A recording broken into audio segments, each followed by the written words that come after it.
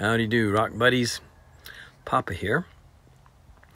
And we're still talking about the geologic history of Georgia and the eastern United States. And yes, today is an exciting day that we get to talk about the Acadian orogeny, the Acadian mountain building event. As you remember, we started off with about a billion years ago, we started off with a uh, supercontinent called Rodinia. And then it rifted apart we talked about that between 750 million and 550 million years ago. And we talked about the rift to drift sequence as the uh, continent pieces sank. We talked about the passive margin sediments that developed around the continents in a time of quiescence. In between, in between these Taconic events, then convergence started, and the first convergent activity was the tectonic mountain building event. So, the next one will be the Acadian mountain building event we're going to talk about this time. And then after that came the Alleghanian mountain building event uh, when Africa crashed in to uh, the mainland of proto North America, creating the supercontinent Pangea. And then it rifted apart, oh, during the last of the dinosaur times. And uh, now we're in another period of quiescence, passive margin. Sooner or later, convergence will begin again, and another supercontinent will be put together. But that's, you and I will not get to see that. So, on with the Acadian mountain building event. Switch the camera around here. okay, this may look familiar to you. this is the what the edge of North America look like, eastern edge of North America look like after the Taconic mountain building event. So let's just look at some of these. This stuff right here, these are the island arcs that were formed in during the Taconic mountain building event that crashed into the northern part of the continent. Crashing and smashing Taconic mountain building event. And those erosion sediments filled up a foreland basin here, and those erosion sediments up here are called the Queenston Delta. That was Taconic. Now let's look at the southern part of the eastern United States. You remember Island Arc, volcanic island arc chain formed down here just like it did up there. And there was a back arc basin formed in this ocean space between the mainland and the island arc. Dahlonega gold was pumped into this narrow ocean basin. And if you want to see this today, just go look, look at the islands of Japan. The sea, this would be like the Sea of Japan in here. And by the way, there is gold down under the Sea of Japan, and the Japanese people are are actively seeking to get it, along with many other metals and things. So, is there a Queenston Delta here? No. Why? Because there was no crashing during Taconic. This did not crash into the mainland. This did up here. Okay, so we've set the stage. Now comes the Acadian mountain building, the Acadian orogeny. Way, way out east of the Proto America, an island arc chain began to form close to Africa and it got bigger and bigger and bigger as it approached proto North America. Why did it get bigger? Because all this ocean crust between North America and the uh, developing island arc, we'll call it the Acadian uh, island arc. All this ocean crust got subducted, and where did it go? It got it went into building this Acadian piece of real estate, and Acadian got bigger and bigger and bigger, and pretty soon it was a microcontinent, much bigger than a volcanic island arc not as big as a full continent like Africa, but it had some weight and power behind it. And so during the Devonian period, which was 400 million years to about 350 million years, um, the Acadian orogeny occurred, in which the Acadian mountain microcontinent smashed into northern coast of North America. Smash, crash. And it was added to that real estate and these huge mountains, the Acadian microcontinent mountains, eroded into the same foreland basin area. except there were a lot more sediments that eroded off Acadia than uh, the sediments that eroded off the Taconic Island Arc. Those sediments filled in this area here, and they are called the Catskill Delta. The Catskill Delta. You can find Catskill Delta deposits in New York, Pennsylvania, West Virginia, maybe a little bit in Kentucky, maybe just a hair in Virginia. Why aren't there why aren't there Catskill Delta sediments down here? Because Acadia did not crash down here. Acadia crashed up north. But that was not the end of things. Now comes our part. And before I tell you this, I've got to talk about the San Andreas Fault in California. Everybody's heard of the San Andreas Fault. The San Andreas Fault runs all up and down north to south uh, of, of California on the coast. And there's some, uh, to the west of the San Andreas, Andreas Fault is the ocean plate plus some little hunks of continent crust that are attached to it. On the east side is the California continent crust. Well, the, San, the, the stuff on the west side of the San Andreas Fault is moving north relative to the material on the east side. Sliding, sliding, sliding. And that's why they have all the earthquakes in California because the sliding action gets hung up.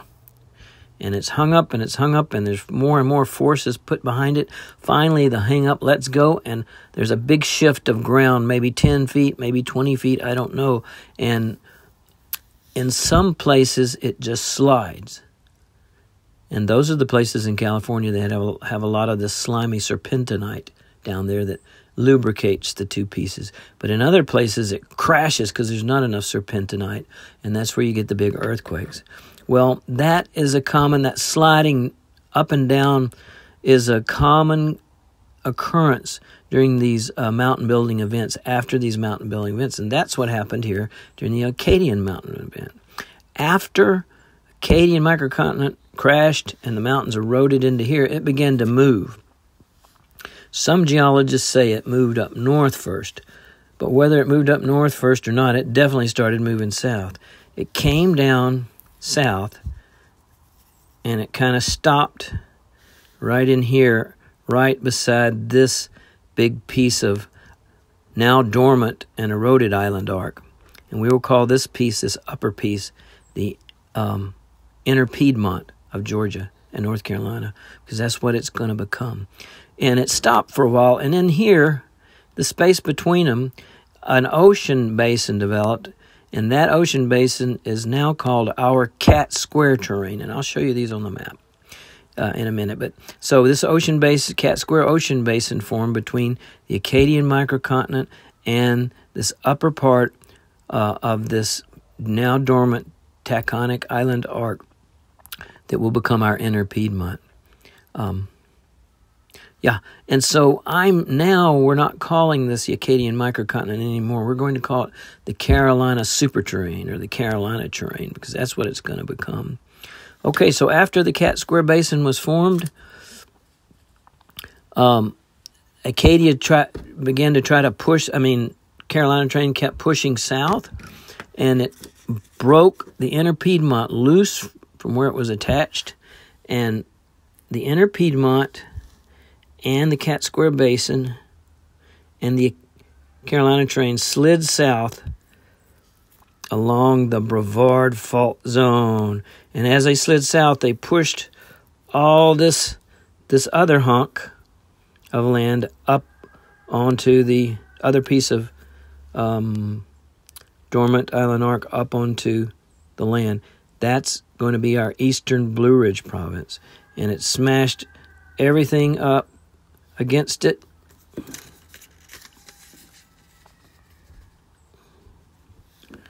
and then things went then things went quiet. So you've got what have you got then? Remember that Dahlonega gold belt that wasn't here? It's now I got this pushed a little too much too far up. Let's do about like that. The Dahlonega gold belt got pushed up first, all in here along that Dahlonega gold belt, and I'll show you where that is on the map. Then came the Eastern Blue Ridge, the the old dormant um, southern piece of the island arc chain. Um, including in it, it, included with it are island arc stuff plus all the continental shelf continental slope and deep ocean deposits that were, had had developed around it, and we call those the uh, Tallulah Falls Alligator Ash Formation. Um, and then came, oops, hey, the wind's trying to blow the tech on it. I mean the Acadian orogeny to pieces. Then came the Inner Piedmont. The Inner Piedmont is a um, the southern, I mean the, nor- the the northern part of that ah volcanic island chain. All right, the wind is trifling with us here today. Then, then came the Cat Square Basin, I Chihuahua. It's okay though. Then came the Cat Square Basin, now rocks, and then the Carolina Terrane. That was the end of the Acadian orogeny. But it did a lot more than just affect, you know, Georgia and this part of North Carolina. Up in the Great Smoky Mountains National Park on the Tennessee North Carolina border, it pushed big, giant um, swaths of rock on top of one another. There's some faults up there. One of them is called the Greenbrier Fault. That was one of the faults that was produced by this Acadian mountain building event when when uh, the sliding along the Brevard fault zone happened. Okay? So, now let's look at the map, the geologic map of today. Ichua. Okay. Here we go. Okay. Let's look at those pieces. All along this fault line, which is delineates the western Blue Ridge from the eastern Blue Ridge, is the Dahlonega Gold Belt. There's Dahlonega, the heart of the Gold Belt. And it goes on up into North Carolina. Okay, now here here's the Brevard Fault Zone. This is the big slider. And I got to tell you that, you know, most of the faults uh, virtually all the faults in Georgia, except the Brevard fault zone, are major thrust faults. What is a thrust fault? Thrust fault is is like um, if you have two pancakes and they're laying beside each other, and you slide one pancake up on top of the other.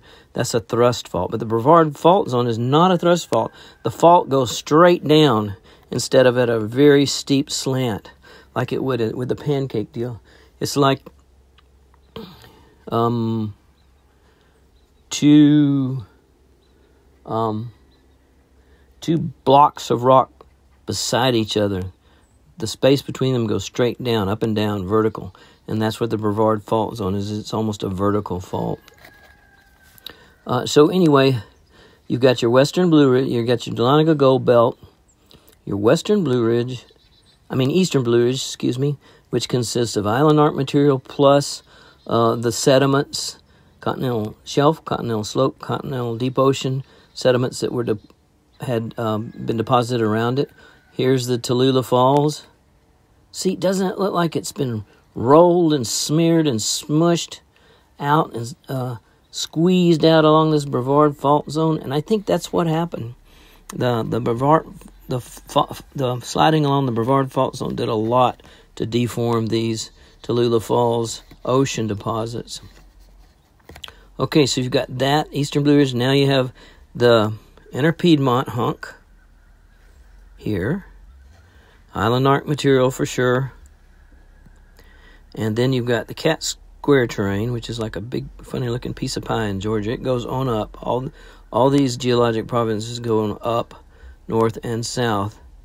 And um, incidentally, um, and the Cat Square terrane is made of rocks from um, sediments that came off both the inner Piedmont and the Carolina terrane.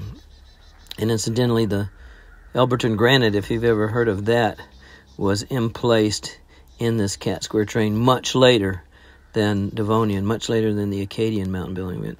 And here's the Carolina terrane. It goes way under this yellow coastal plain, um, but the coastal plain deposits are laying on top of it.